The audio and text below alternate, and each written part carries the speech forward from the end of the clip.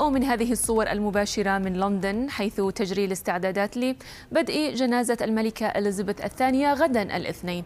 كثفت العاصمة البريطانية تدابيرها الأمنية لأول جنازة رسمية تقيمها منذ وفاة رئيس الوزراء الأسبق وينستون تشرشل عام 1965 وقد وضعت بريطانيا خطة وصفت بأكبر عملية لضبط الأمن والحماية في تاريخ المملكة المتحدة منذ الحرب العالمية الثانية.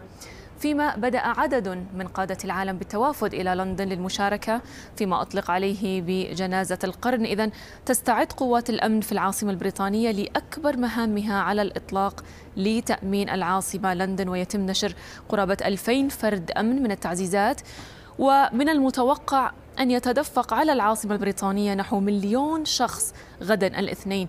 وتعد هذه العملية أو عملية الشرطة لتأمين الأحداث الأكثر تعقيدا في تاريخ العاصمة البريطانية.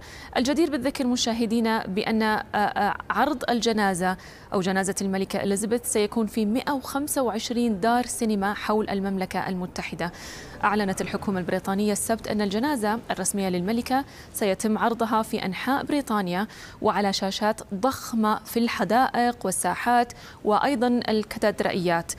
قالت وزارة الثقافة من جانبها أنها أو ستعرض الجنازة على التلفزيون البريطاني الرسمي وعلى عدة قنوات أخرى.